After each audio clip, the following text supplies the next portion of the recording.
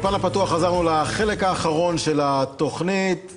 יש רבים מאיתנו שמדברים על יופייה של ארץ ישראל, כמה אנחנו אוהבים את הארץ הנפלאה שלנו, באמת.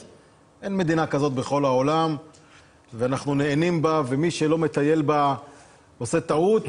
אבל יש כאלה שמדברים על היופי, ויש כאלה שגם מדברים וגם עושים. צורי קינג שמצטרף אלינו לכאן אה, לאולפן, אה, ערב טוב לך. אז אתה לא מאלה שמדברים, אתה החלטת יום אחד לקחת פשוט את האופניים שלך, יום בהיר אחד. אמ, אני אלך עשר שנים אחורה, טסתי לנפאל, אחרי תקופה לא פשוטה פה בארץ, אה, משבר אישי שעבר עליי, והחלטתי פשוט אה, לעזוב הכל, תיק על הגב, ונחתתי בנפאל. החלטתי לטייל, לטפס הרים, משהו שאני מאוד אוהב לעשות. אמ, ואחרי כמה שבועות מצאתי את עצמי בבית יתומים. אה, מפה לשם העניינים התגלגלו לזה שהפסקתי לטייל, ואני ועוד כמה אנשים טובים מהארץ ומהעולם החלטנו להתנדב שם, השארתי שם חצי שנה.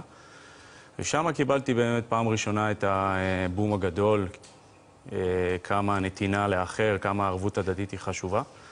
ונדרתי עם עצמי נדר, שלא משנה מה קורה במהלך החיים, קריירה, אני תמיד משאיר איזשהו צד שאני תורם לקהילה, וזה מה שקרה. לאט לאט הדברים התחילו להתבשל.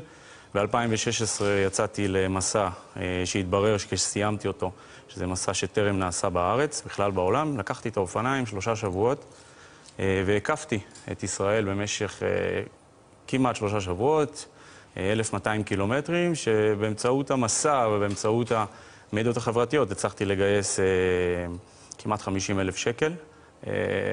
זה נגמר, סיימתי כמה ימים לפני ליל הסדר.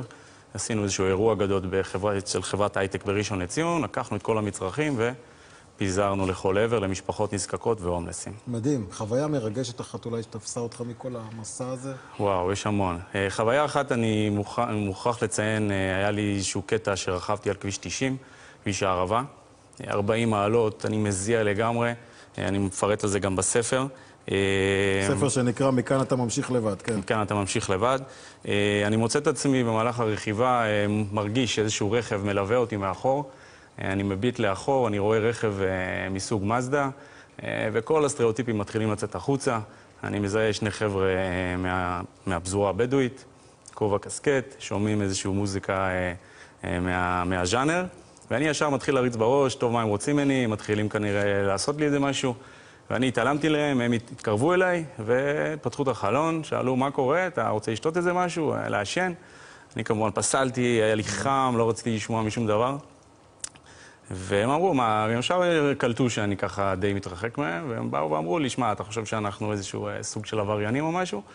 אמרתי להם כמובן שלא, אבל אה, במילים עדינות אמרתי, אין להם כוח, אין לי כוח אליכם, תעזבו, תיתנו לי לרכוב. אמרו, אתה יודע מה, אנחנו מחכים לך עוד 500 מטר, הנרגילה עלינו והקפה. אני כמובן אמרתי, איזה שני קשקשנים כנראה, אין סיכוי שהם אה, זה, ומצאתי את עצמי. יושב איתם על כוס קפה. מדהים. וככה הדברים התגלגלו. אני רק אגיד לך שיש לנו פה כאן צופה בשם אריה קינג, שכותב, גאה בך אחי הצעיר. למי שלא יודע, אח של אריה קינג, מעיריית ירושלים, האיש שגואל בתים וכולי, לא נכניס אותך לעניין הזה. לא ומילה אחת, כי אנחנו ממש בדקה האחרונה, כן. על הספר הנפלא הזה שאני ככה מהלל בו ורואה פה דברים מעניינים מאוד. כתבת ספר, מה, כל החוויית אה, נסיעה כאן, הרכיבה, כל החוויה הזאת? הספר אה, יצא אה, בשבועות האחרונים בהוצאת כתב. אני לא ידעתי שאני, לא ידעתי שאני מסוגל לכתוב ספר. המסע נגמר, אנשים פנו אליי, אמרו לי, תקשיב, כתבת הרבה, עברו לך חוויות, למה שלא תלקט את כל מה שאספת ופשוט תכניס את זה לאיזשהו משהו שנקרא ספר? וזה מה שקרה, יום בהיר אחד, פתאום נולד לו ספר, השם שלי עליו, אני לא מאמין, ההורים שלי לא מאמינים. והנה אני כאן, יושב ומפצפץ איתך על אה, ספרים. מקסים. בפעם הבאה צריך לבוא לפני בלק פריידיי, שיקנו את זה ככה בכמויות. צורי קינג, תודה רבה לך, בהחלט אה, מרגש. חברים, האולפן הפתוח, אנחנו קודם כל, אני רוצה להודות לכם.